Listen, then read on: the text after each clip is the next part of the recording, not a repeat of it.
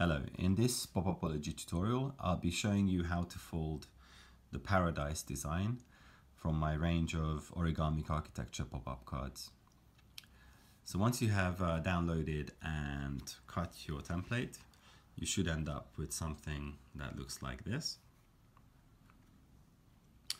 And in order to begin, what we do as always is establish a gentle crease along our baseline indicated by these uh, perfed sections on the two sides under my thumbs. And you just literally just want to press press in on that crease to a very shallow degree of fold as you can see here.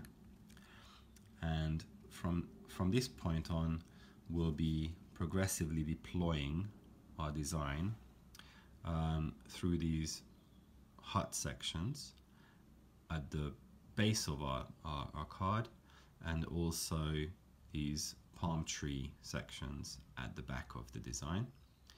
So in order to not damage any sections, we want to be doing this in a progressive and incremental uh, fashion.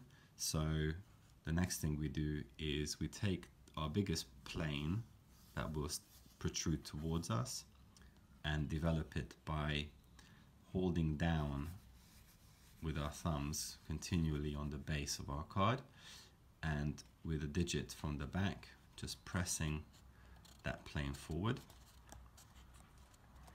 like so. Um, and you can progressively go towards the front as you can see here and deploy this volume further. So it starts to protrude more and more in space. But don't overfold this section because as you can see you're putting stress on the paper along the base of the card. So we need to catch up with our other sections, i.e. the palm tree shape designs. So we go back to the center palm tree and by holding down these two baselines with the thumbs, just pop out the center section. Uh, sometimes these um, delicate areas can snag, so just, just take care to push the tree shape forward without um, catching on the aperture behind it up to about this degree of fold and individually you can repeat the process with both of the, the side trees palms as well.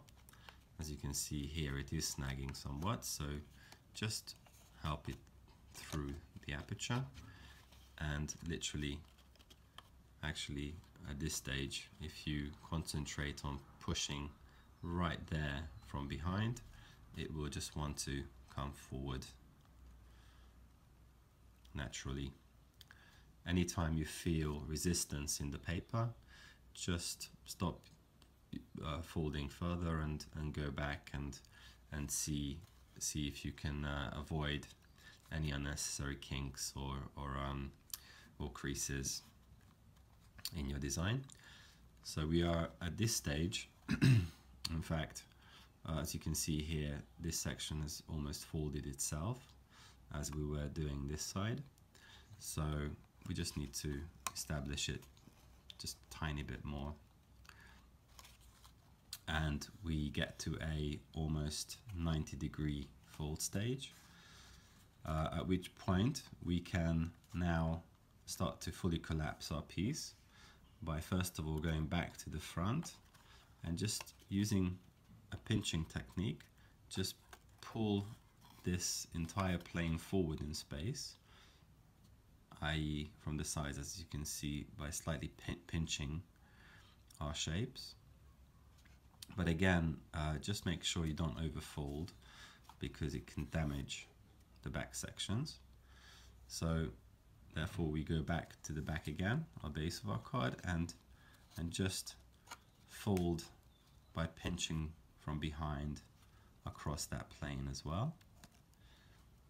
So as you can see, we're kind of catching up with a degree of folding at the back until we get to the same stage as we were in the front section. And now we are literally ready with a couple of strategically placed pinches to collapse our entire piece. And you can just tap down on the back of your card to to sharpen those those creases and end up hopefully with something that looks like this. One added feature of this design are uh, these little apertures windows that you can deploy.